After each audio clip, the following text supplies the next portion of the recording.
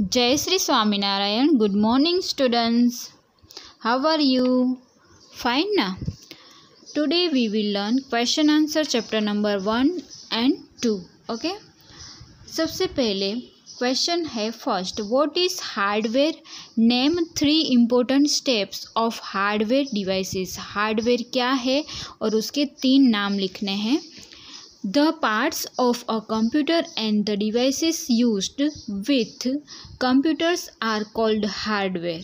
Mouse, pen drive, monitors are important types of hardware devices.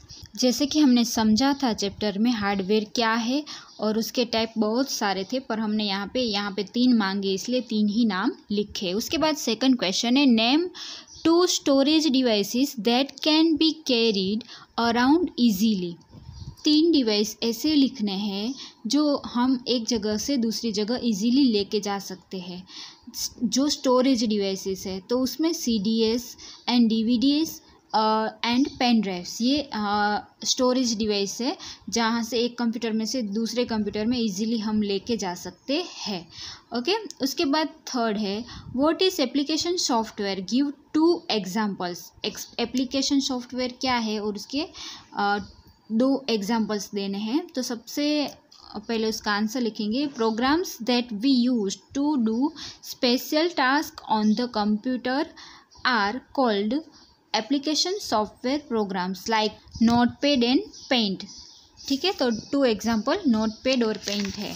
उसके बाद है name three types of personal computer personal computer के तीन uh, लिखने हैं। तो desktop computer laptop and tablets types of personal computers okay उसके बाद सेकंड है what is a network how is it useful तो उसका आंसर आएगा A group of connected computers forms a network.